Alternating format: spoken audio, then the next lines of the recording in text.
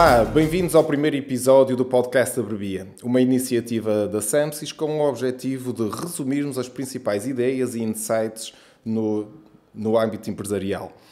O objetivo deste podcast é, em 30 minutos, conseguirmos entregar valor, entregar algo que realmente seja útil para todas as pessoas. Sabemos que o tempo é o bem mais precioso que nós temos e por isso queremos ser objetivos, daí o nome Abrevia.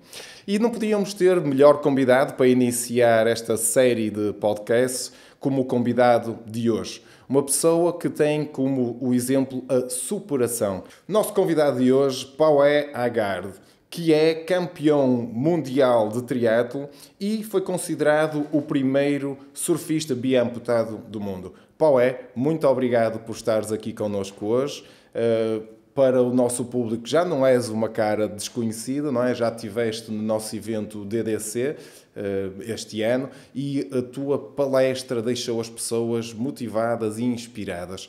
Por isso, obrigado por estares aqui. Eu que agradeço, Rubem. É um prazer estar aqui com vocês. E o DDC Sansis, é, com certeza, é muito marcante e traz um propósito para toda a comunidade aqui de Portugal. Foi um prazer enorme ter participado do evento. Muito obrigado. Paulo, Porquê Paué? É uma alcunha bastante interessante. O teu nome é Paulo, não é? Para quem não conhece. Mas porquê Paué? Foi algo que foste tu criar? Foram os teus pais? É uma abrevia, né? Do meu nome, né? Do Paulo Eduardo. E foi feito na época que eu era pequeno ainda. Minha avó materna me apelidou, já que meu pai era Paulo Eduardo também. E tinha a alcunha, né? O apelido. Aqui a gente usa o apelido é o sobrenome de vocês, nós. Né? Então a alcunha do meu pai era Paulinho não dava para ser Paulinhozinho, virou Pauê. muito bem, muito bem. Olha, para quem ainda nos conhece e não teve no DDC este ano, tu no ano 2000 enfrentaste um desafio muito complicado. Queres falar um pouco desse desafio? O que é que aconteceu? Claro. O ano 2000 foi um ano atribulado, um ano que eu tinha 18 anos de idade e no dia 8 de junho de 2000 especificamente, aconteceu um fatídico acidente na esquina de onde eu morava, numa linha férrea. Uma locomotiva transitou apagado e ali eu tive é, a infelicidade de cruzar no exato momento e fui atropelado. Fui atropelado por uma locomotiva, uma velocidade alta que freou.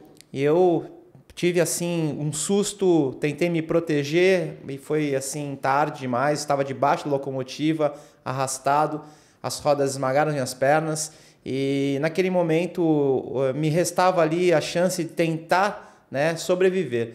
Tudo foi muito rápido, acredito que em questão de alguns minutos eu já estava ali pronto socorrido e eu tive ali a grata esperança né, de poder ter um corpo médico que me ajudou, auxiliou naquele momento, além da minha família e outras né, pessoas que foram essenciais para essa retomada. Depois daquele momento de impacto, quais foram os teus primeiros sentimentos, as tuas primeiras emoções uh, que, que, sentiste? O que é que tu pensaste ou quando caíste em ti do que tinha acontecido? É, medo, sensação de muitas vezes pânico, desespero. É uma sensação delicada quando a gente entra num momento de crise, num momento onde a gente não domina mais aquilo que faz parte do nosso, né, do nosso cotidiano. Naquele momento, com 18 anos de idade, eu tive que, com certeza, acelerar todo esse processo de amadurecimento. Digo isso em razão, assim, olhava para os meus colegas, né? Eu, de uma hora para outra, eu era um pauê menino, adolescente, 18 anos, e eu tive que retomar minha vida, mas assim, com ímpeto, com vontade. E aquilo só me restava tentar criar né, uma prova de capacidade. E isso foi através do esporte, através de desafios que foram surgindo ao longo dessa trajetória. Então eu diria que foi muito gradativo, foi muito difícil, porém eu fui muito objetivo, muito conciso para que isso acontecesse. O comprometimento, que é a palavra mote né, do The Sans esse ano, é, diz muito a respeito. É um valor que eu carrego comigo, que me ajuda até hoje e que eu tento estender isso para todas as pessoas, o quanto é importante as pessoas terem comprometimento. Afinal, se você não quer muito algo, né, dificilmente você vai ter. A obstinação é você a realização. Isso mesmo. Então, Consideras que o compromisso foi algo crucial para a tua superação desse desafio, desse grande obstáculo que, que, e infortúnio que aconteceu no ano 2000. E, e, como é que conseguiste então superar isso? Foi tudo sozinho? Partiu só de ti? O apoio da família foi importante? Queres eh, esboçar um bocadinho mais sobre isso?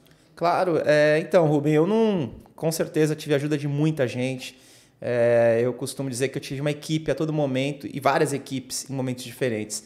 Desde o momento ali no hospital, corpo médico, auxiliares, pessoas que foram protagonistas juntos comigo naquela história que precisava sair ali do fundo do poço e ressurgir. Já em momentos posteriores, já começando a caminhar, dando os primeiros passos, na era esporte, tive ali auxílio dos meus técnicos, pessoas também, outros atletas que foram fundamentais como referências, amigos que todo momento estavam ali comigo, minha família, né? Não posso deixar de falar.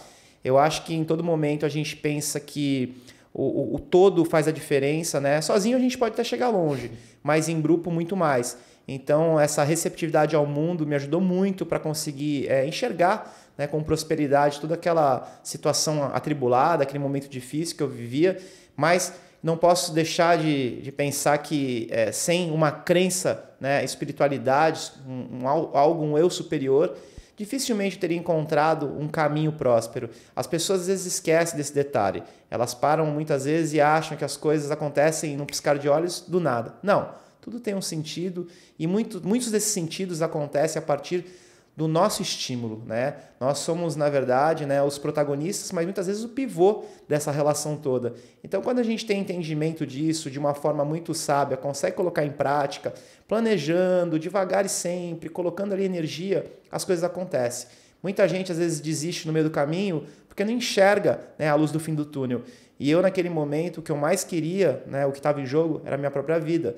Então, eu queria não só ter aquela noção de capacidade, aquela sensação, mas também fazer algo diferente, poder prosperar. E quando eu ia, caminhando e galgando esses degraus, eu ia cada vez mais enxergando novas portas que iam se abrindo. Algumas fechavam, outras se abriam, mas na medida que eu ia me adaptando, eu conseguia ver virtude e isso foi fantástico. Muito bom, muito bom. Parabéns. Então, resumindo, pensar, acreditar, ter fé, não é? Ter também esperança que algo vai, vai melhorar ter o apoio de pessoas que, que, estão à nossa volta e que nos ajudem e, conforme tu disseste muito bem, fazer um planeamento e seguir esse planeamento, uma determinação constante, um compromisso com aquele plano, não desistir à primeira, nem à segunda, nem à terceira dificuldade, que certamente no teu processo de recuperação existiram, não é? E algumas frustrações pelo caminho. E, e para vencer essas frustrações, consideras que a tua forma de pensar, o teu mindset teve um papel muito importante nesse processo ou nem tanto. Sim, mas eu posso dizer que eu era uma pessoa que não tinha conhecimento de nada e fui adquirindo. Então, nada também acontece da noite para o dia. É preciso construir, é preciso edificar. E para isso a pessoa tem que estar disposta. Eu, naquele momento, é, eu ainda um jovem, sem experiência nenhuma, é, com muitos medos e ali com uma situação muito difícil para resolver. Eu tinha pela frente uma vida toda e me restava ali me entregar ou né, encarar tudo aquilo. Claro. Eu acho que a grande dificuldade que as pessoas têm muitas vezes é, é as pessoas querem o resultado rápido, elas querem é, instantâneo. E às vezes essa dificuldade é muito grande, porque as coisas precisam de esforço, precisam de sacrifício, precisam né, ser conquistadas. E eu, na medida que eu fui percebendo isso, eu fui dando tempo ao tempo. Então eu digo que o esporte ele foi me nivelando, foi me trazendo muitos valores, muitos atributos que eu uso inclusive hoje no meu dia. Quando eu falo para as pessoas sobre as dificuldades, sobre as crises, sobre os momentos de mudança, uma das coisas que eu gosto de enfatizar bastante é dizer que a gente precisa, antes de mais nada, ter um ordenamento, ter uma programação, colocar devagar e sempre energia naquilo que a gente acredita.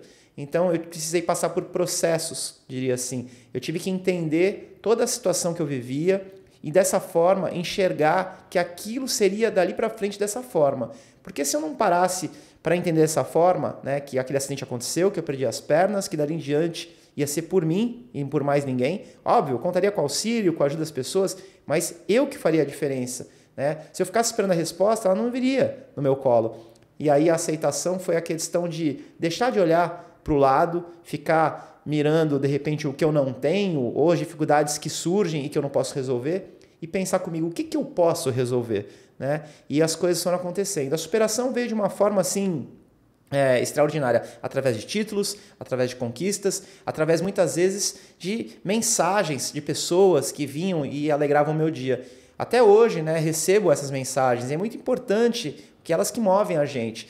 Eu acredito que no esporte, é, um grande exemplo disso foi quando eu voltei a nadar. Eu queria voltar a surfar logo depois do acidente e eu não tinha ali habilidade de natação. Né? Uma modalidade que eu fazia com muita facilidade, de uma hora para outra eu tinha perdido a batida de perna e aquilo me causou um grande desânimo. Mas com muito treino, com muito afinco, dia após dia, me dedicando, as coisas começaram a acontecer. Aos poucos a evolução veio e aí surgiram convites e eu fui para as primeiras provas. E aí que é legal, Rubem, porque na primeira prova, né, aí a gente acha, pô, aí você foi bem. Não, aí não fui bem. Aí fui para o último a chegar. E aí qualquer um falaria, poxa, caramba, vou, vou desistir. desistir, joga a toalha. né? Mas não, naquele momento eu enxerguei o lado bom de tudo isso. Então, o afeto, o carinho, né? as pessoas Muito que bom. vieram ali ao meu encontro foi fundamental. E eu, obviamente, que ali me empolguei tanto que acabei topando um segundo desafio e ali comecei uma trajetória e comecei a, a fazer esses circuitos. E numa prova de 8 quilômetros que eu havia me inscrito, que eu nem sabia, porque nessa empolgação toda surgiram coisas né, muito fantásticas, eu acabei indo nadar e ali eu tive uma grande surpresa. Quando eu saí da água e tive a surpresa de ganhar de pessoas com pernas. Né? Aquilo foi um divisor de águas, me trouxe para a realidade, foi um choque de realidade e uma quebra de paradigmas. Diria que foi um divisor de águas. Eu ali me tornei, sem saber, um triatleta, porque eu comprei no dia seguinte uma bicicleta, me matriculei no bike indoor né, para os dias de chuva. Boa. E a prótese, que ainda não era o equipamento que eu tinha para correr, eu fazia andando. Então, assim, quem quer dá um jeito, né? Faz acontecer. Isso. E eu, naquele momento, é, acredito que essas essa, esse estímulo, essa vontade foram vistas por terceiros, por outras pessoas, que aos poucos, de tanto ali, água mole, pedra dura, e querendo, querendo fazer as coisas, a pedra furou, né? As coisas se deslancharam. Uma prova que eu fiz, fui muito bem nos Estados Unidos, aí na ocasião eu fui com próteses convencionais, ao final da prova subi no pódio e o, o organizador chega para me premiar. Eu em segundo lugar, num pódio de cinco todos com próteses tecnológicas, eu o único com próteses convencionais. E ele chega do meu lado e fala assim: Você prefere essas? E eu digo para ele: Não, eu não tenho. Eu só moro no Brasil, tenho dificuldade lá. E ele: Não, você vai ter agora. E volto de lá com as próteses tecnológicas. Então, assim, as conquistas surgem na medida que a gente vai se dedicando e as coisas acontecem. É isso, muito bom, muito bom. Falaste de coisas muito interessantes com as quais nós também nos revemos: o fazer acontecer, o ir atrás, o não desistir, não é? O perseverar. As pessoas muitas vezes querem colher os frutos, mas não querem semear a árvore, regar a árvore, esperar que a árvore cresça para poder ter os frutos. Querem comer os frutos logo. É? E, é, existe um processo nisso, as coisas não acontecem ao acaso. E, e, e no desporto, e, e, tu tens uma ligação muito forte com o desporto, aprendeste isso certamente. Não é? Nós, a primeira vez que fazemos algo custa, a segunda vez continua a custar, a terceira continua a custar, mas aos bocados vamos conseguindo ganhar competências e desenvolver. Não é? E, eh, e, isso também tem que ser aplicado e deve ser aplicado, obviamente, na, na, na, nossa vida. Por isso, a tua ligação ao desporto já agora começou com que idade, mais ou menos? Tu já, tu já tinhas esta ligação forte ao desporto antes do, do, do acidente Sim. ou só depois do acidente? Sim. Antes. Desde pequeno, sempre gostei de praticar esportes. Meus pais me incentivaram muito. Fiz muitas modalidades. Joguei futebol, salão, campo. É, participei de artes marciais, capoeira, é, karatê, é, até competições nas escolas, né? Xadrez, tênis de mesa. Então, assim, sempre tive ali a competição junto, aliada. Então, assim, a competição trazia performance, tinha que ter treinamento, né? tinha que ter dedicação, tinha que ter compromisso. E eu acho que isso foi que me ajudou bastante também quando aconteceu tudo comigo, né? O acidente. É, eu tinha já uma referência do esporte e ali uma grande paixão, que era o surf, modalidade que até hoje né, amo fazer e que eu encaro como um estilo de vida, não é nem uma, um esporte somente. É algo que me traz ali uma paz. Sim, é uma coisa assim, é, o contato com a natureza, né? O contato com o mar é uma, é uma, uma, uma beleza muito assim maior do que simplesmente a prática do esporte. E aí acho que naturalmente, quando a gente para para pensar sobre é, esporte, eu diria que as pessoas, ah, mas eu não gosto de esporte. Não, não precisa gostar. Né? Pensa então em trabalhar o movimento. Né? O movimento vai trazer para você mobilidade, naturalmente vai trazer estímulo de produção de endorfina e naturalmente vai trazer prazer. Né? Essa satisfação vai abrir portas, canais que muitas vezes estão adormecidos, anestesiados. E isso foi muito importante naquele momento que eu tanto precisava, né? Estar ali em movimento. Estar em movimento me trouxe o quê? Oportunidades. E é isso que eu falo para as pessoas, né? Não fique parado, né? Movimente-se. Muito bem, muito bem. É curioso que mesmo do ponto de vista global, quando se nós analisarmos eh, empresários, CEOs, administradores de grandes empresas, a maior parte deles praticam desporto de forma regular. Não é o caso, não é? E existe uma associação direta entre a prática de desporto ou de atividade física com uma saúde mental melhor Sim. e uma destreza e uma capacidade de raciocínio mais ágil. Por isso, ainda bem e, e fico, fico, muito feliz por constatar também isso.